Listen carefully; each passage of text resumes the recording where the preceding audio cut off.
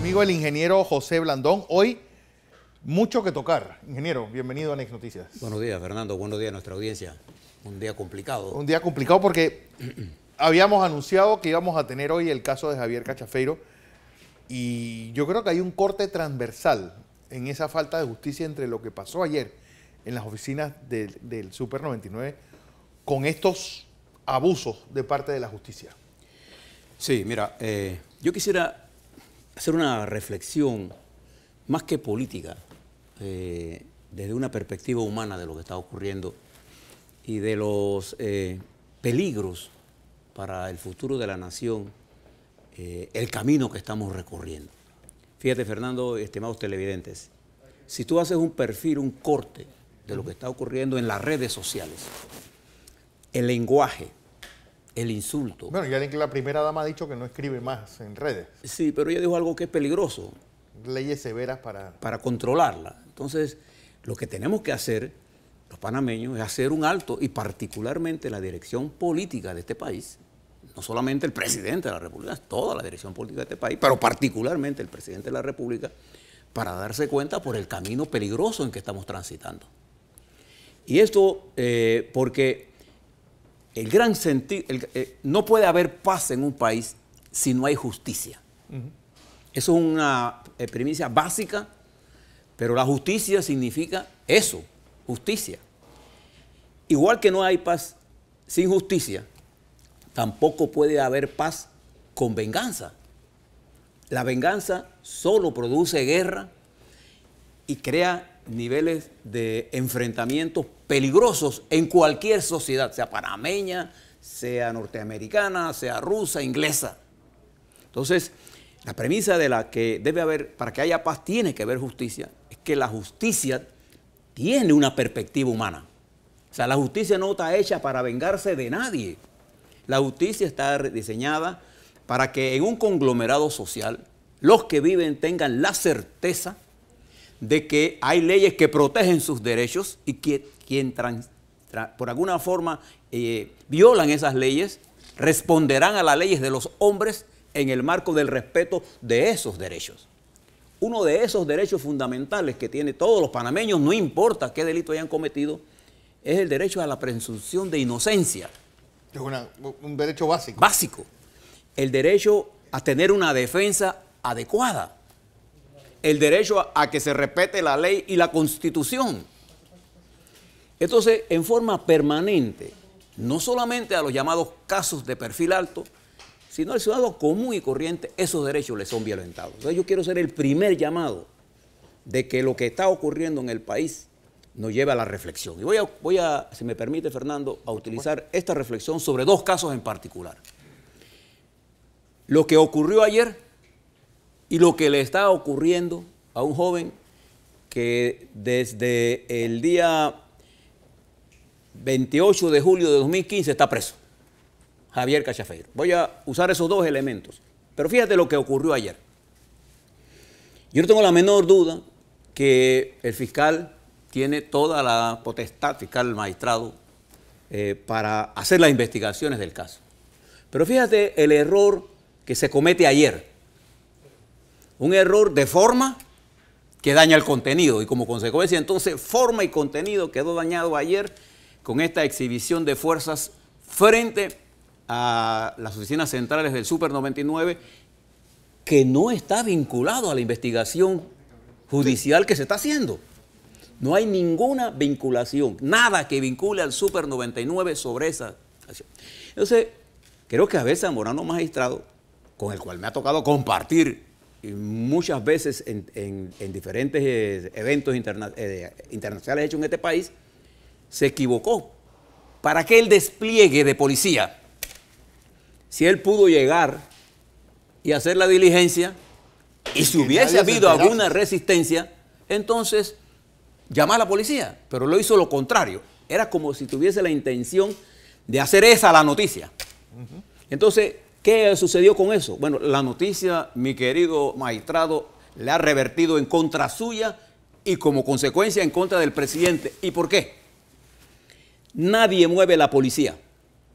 Nadie en este país mueve la policía sin una autorización. del comandante de la policía y del presidente para un caso de esta naturaleza. O sea, nadie se puede llamar a engaños que la decisión que la policía está ahí fue autorizada.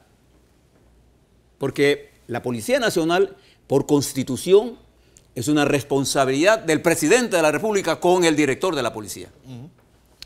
Entonces, ¿qué sentido tenía hacer ese despliegue que no fuera el, el, hacer de eso la noticia? Bueno, el resultado, mi querido amigo del gobierno, ha sido un resultado negativo para ustedes, pero además peligroso. Peligroso porque en este momento lo que menos necesita el país es que una empresa de esta naturaleza, de esta magnitud, ¿no? Que no está vinculada a esta investigación, sea objeto de esta eh, acción innecesaria y negativa por demás, porque si bien es cierto, el Super 91 tiene miles de trabajadores directos, miles, los indirectos de ellos tú lo tienes que multiplicar por seis. Más los beneficiarios que tienes que multiplicar por seis. Más, no, más todos los proveedores nacionales. Fíjese, solamente por esto que pasó ayer, cantidad de gente del interior me estaba llamando para decir, bueno, ¿y ahora dónde vamos a mandar nuestros productos? Fíjate la cantidad de proveedores. Entonces, ¿cuál fue la señal que mandamos? A ver, ¿qué señal mandamos de positiva al país? Ninguna. En un momento en que hay un proceso de desaceleración económica, en un momento en la que por acciones administrativas de los Estados Unidos, al margen de la ley y la constitución de este país, se cerraron un complejo del señor eh, Wackett, eh, eh, Abdul Wackett en particular, sin y con efectos muy graves a la economía. Y yo ahí, el lunes le hablaba sobre la matriz de riesgo. Bueno, lo que pasó ayer incrementa la matriz de riesgo económico y político del país. De una diligencia que debió hacerse, porque al final lo que le interesa al fiscal es obtener la información y no acciones negativas. Claro. Ese es un caso. Fíjate el otro caso, el caso del joven Javier Cachafeiro, que le prometí, he, visto el expediente, y fíjate esto, y vuelvo al sentido humano de la justicia. Si la justicia no está hecha para que la gente que cometió delitos se salga de ella, sino que se más sea manejado con la perspectiva humana con que está diseñada la justicia. Claro. En el caso de este joven, él no fue llamado a indagar, él fue voluntariamente a declarar. No fue que, fue el mismo caso de José Raúl Molino, él estaba en el extranjero, se enteró, vino, o sea, no. había en este caso el menor interés de fuga, él fue a declarar hace su descargo y fue inmediatamente puesto preso. Claro, la fiscalía, y voy a, voy a, obviar nombres, la fiscalía tenía evidencias de que algo estaba ocurriendo, porque efectivamente Javier Capachafero está vinculado a alguna de esas empresas. De una u otra forma. Lo que no se ha probado en el expediente es que él esté involucrado en actividades de las cuales se le acusa. Se hace una primera eh, solicitud de cambio de medida cautelar el juez le concede la medida cautelar, la fiscalía apela y, gana el caso en, la instancia superior y se mantiene preso todavía.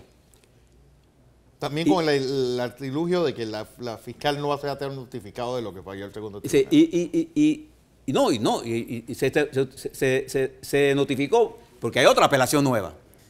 Y el, fiscal, el juez nuevamente decide cambiar la medida cautelar y nuevamente la fiscal apela. Entonces yo, la, fiscal apela. Pero mire el caso. Este joven no constituye un peligro de fuga. No puede romper evidencias. Las pruebas caligráficas están demostrando que los documentos que se le acreditan a él fueron falsos, pruebas caligráficas hechas por eh, el, departamento correspondiente del Ministerio Público. El juez, fundamentado en eso, nuevamente declara de que se le cambie la medida cautelar, la fiscalía apela. Entonces yo me pregunto, ¿cuál es la intención de mantenerlo preso si ya las evidencias, porque el caso está cerrado, ya no se puede ir para ningún lado, ¿no?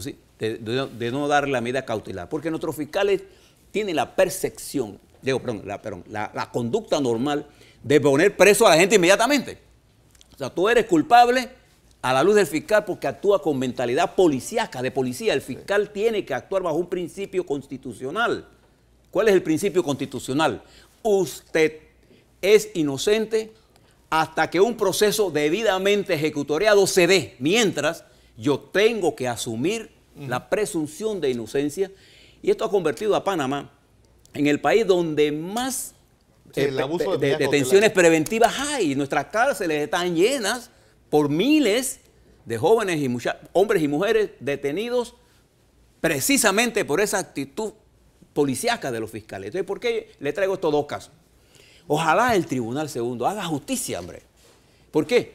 Porque vuelvo al segundo principio de la justicia. El señor Cachafero tiene el derecho de tener un libro, tener un derecho a defenderse. ¿Cómo se puede defender estando preso cuando no ya hay un juez? ¿Qué te dijo? Entonces nuestros fiscales, cuando el juez no nos gusta, comenzamos a atacar al juez.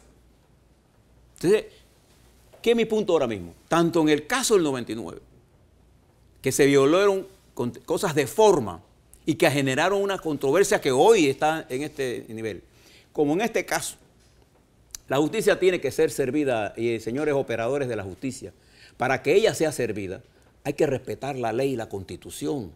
estaba escuchando al licenciado Carrillo y le hago un llamado a la Contraloría General para que revise los métodos con que están haciendo esas auditorías. De ellas le voy a hablar eh, eh, en, un, programa eh, que hagamos para este tema.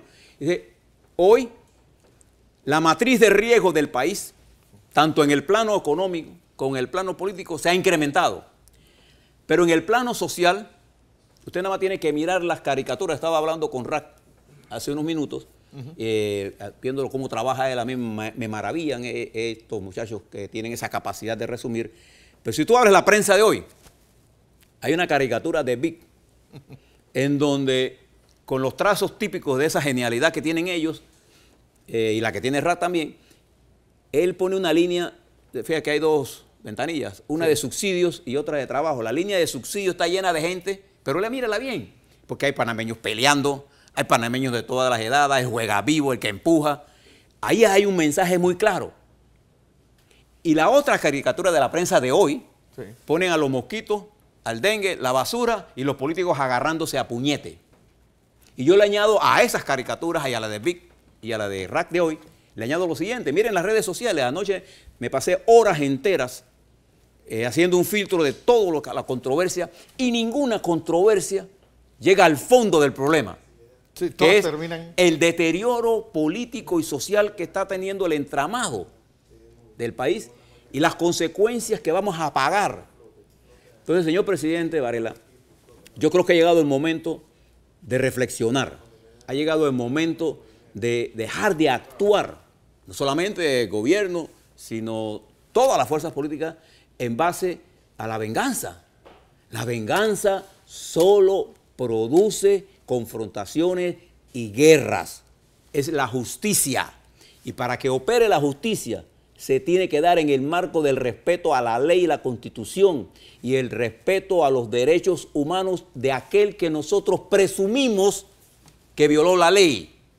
Porque hay un principio general que guía la justicia en Panamá, que es el principio de la inocencia, la presunción de inocencia que estamos violando en forma permanente. Y estamos creando un calle arriba y un calle abajo en cada esquina del país. Y por todo. Y después... Estamos trayendo a la politización todos los aspectos de la Pero peor, estamos judicializando la política. Si yo tengo una controversia política con el señor Martinelli, resuélvala políticamente. Si hay una controversia judicial, deje que los tribunales lo resuelvan. Y, y nosotros dediquemos a construir la nación.